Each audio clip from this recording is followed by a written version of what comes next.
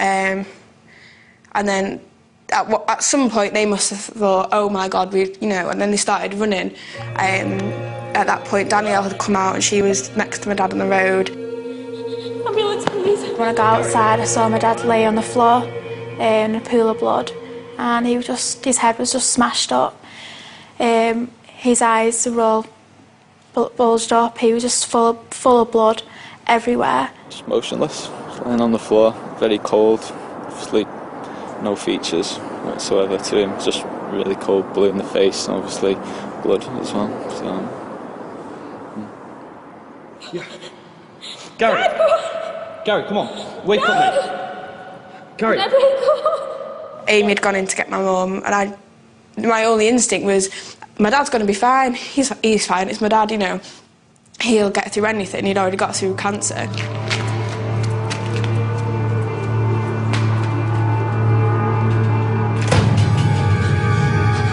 Mom, Mom, it's Dad. Amy's hysterical, hysterical.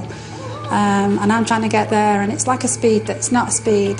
Um, and when I'd gone to come down the stairs, Amy had collapsed on the floor.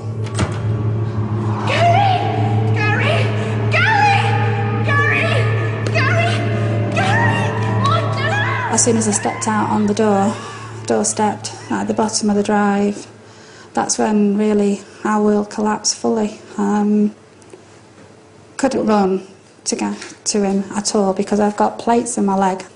Um, and the first person really I saw was Zoe. Um, telling me not to come near. And as she says that, I look on the ground. And Garry's not moving, he's lying on the floor. I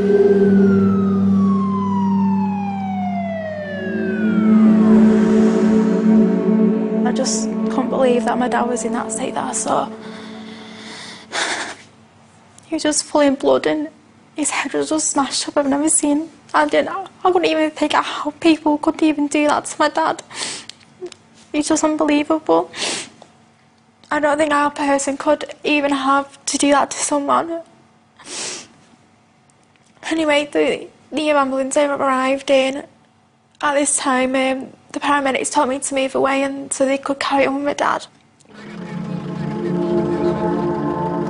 Once I'd got my head sorted, I was like, realised what had happened. So I immediately ran out and then found mum crying on the curb hysterically. And then the ambulance door was open, so I looked round it and my dad was just lying there. And then ambulance people were attending to him.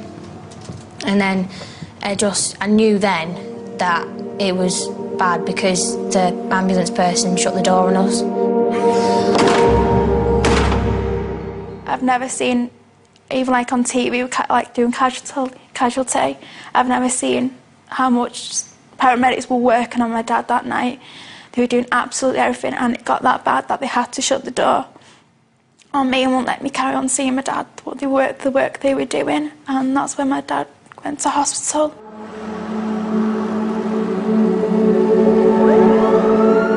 Garry was taken in the ambulance.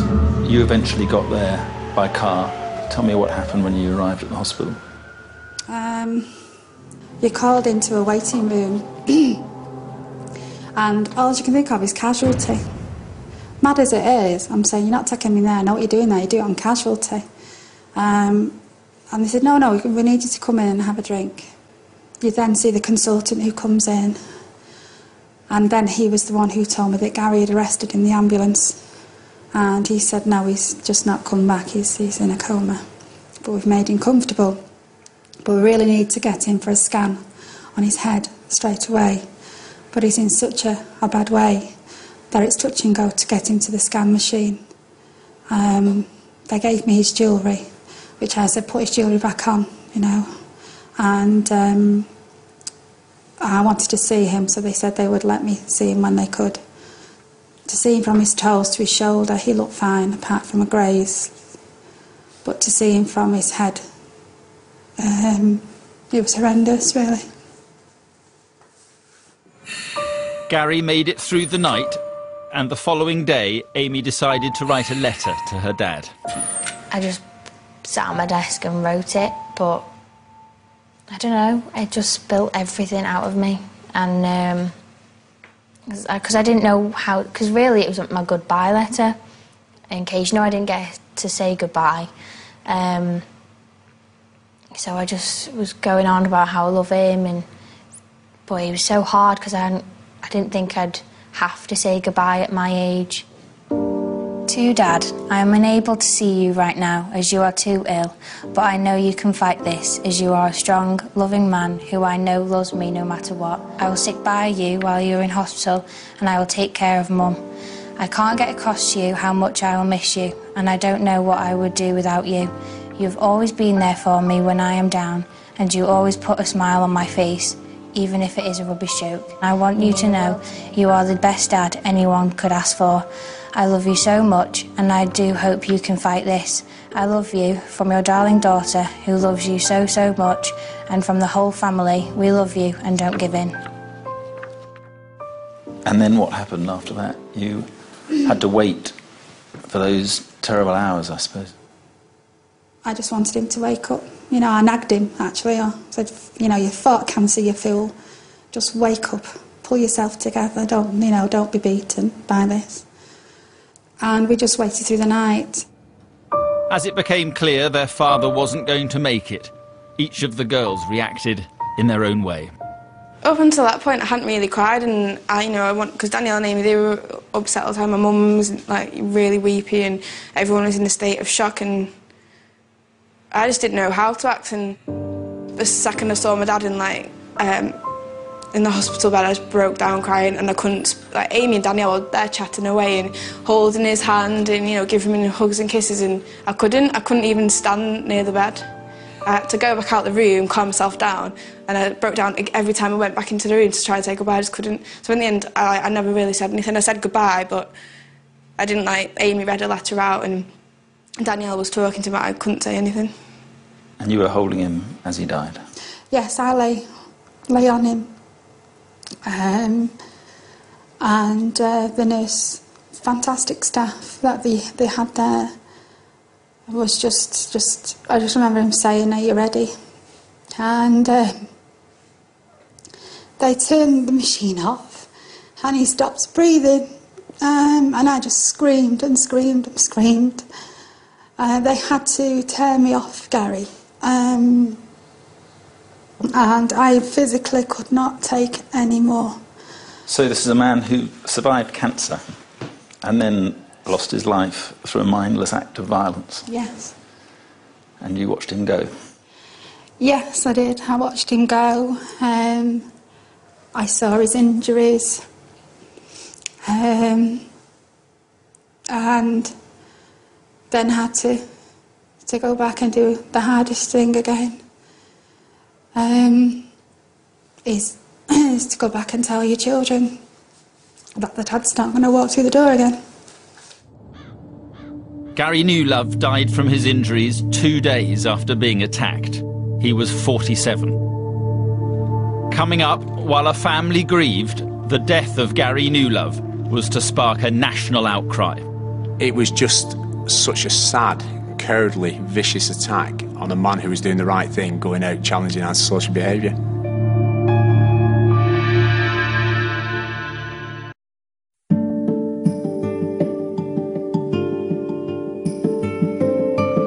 The death of a father murdered for challenging Yobs for their antisocial behaviour horrified the country. In life, he had been an unassuming family man. In death, a symbol of a broken society. The street the father who fought back against the thugs. Tonight, police continue to question six teenagers over his death. I think people looked at what happened to Garry and they thought that could have been them. This was a dad of three, a respectable dad of three, who'd only gone outside to remonstrate with some children, some teenagers. It hit home because people realised it could have been them. I was shocked. I was uh, very sad, and this was an area that was very dear to me. I'd served as a local beat officer, I served there in CID. Um, I couldn't quite believe this had happened within the policing area that we had. Um, it was just such a sad, cowardly, vicious attack on a man who was doing the right thing, going out challenging antisocial behaviour. The family obviously were absolutely um, devastated. Um, uh, you know, so much so that you would probably describe it as almost hysterical. Um, those first few days were very, very dark, I think, for, for Helen and the girls, and I think they only coped because, you know, they have got such a close family. The next morning, I, I went to see Helen and the family at the home address. It, it was difficult. Um, I can still picture. I've never seen so much devastation within a room. There was upset. There was distress. The children were obviously very upset. And I spoke to Helen, and I can remember first reaction as a human being was to say sorry. It was an ordinary street, um, it was an ordinary family, uh, but it was also about an ordinary guy who'd gone out uh, trying to protect his family in a way to remonstrate with, with local youths and the sort of dilemma that lots of people face when they hear about things or see uh, young people misbehaving um, or involved in crime, what to do, whether to actually intervene. The police were quick to make breakthroughs. The police were immediately called to the scene and uh, the youths ran off from the Station Road area up to, uh, to the shops at Fearnhead, Insall Road shops. Uh, and there's a PCSO on duty there who stop checked two youths, uh, a lad called Stephen Sorton and a lad called Jordan Cunliffe. He spoke to them and he noticed that one of the youths was only wearing one shoe. Uh, and he told him that he'd left a shoe behind in Valiant Park. The other youth wasn't wearing any shoes. Um, when further up police officers attended the scene, then we found a, a shoe that was lying by the side of Garry Newlove's body, which immediately drew our interest to these two youths. And subsequently, uh, intelligence checks were made, and uh, we visited their address, and they, they, were in the address, and they were subsequently arrested and taken to uh, the police station. A third suspect was 19-year-old Adam Swellings. He was already well known to police and had several convictions for violent assaults and antisocial behaviour.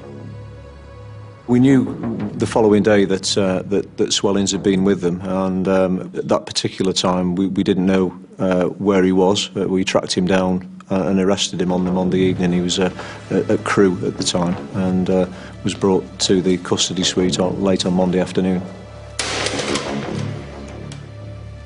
Had you been drinking that day? Did you cause any damage to any of the cars on the station road? Obviously, at the early stage of the investigation, I, I established that they were the, these guys were going to probably put forward that they, weren't of a violent disposition. Uh, so was important for us to, to identify that they were uh, and to, to uh, be able to paint an accurate picture of their behaviour, not only on that particular evening, but over the weeks leading up to the uh, assault. And there was a consistent pattern of these youths being involved in consuming large amounts of high volume alcohol, such as cider, and then engaging with any person who they met within the community who dared to speak to them or or anyone who dared to disrespect them, I think is the word that they, they used. I think one of the words used was he, he was disrespectful. Yeah.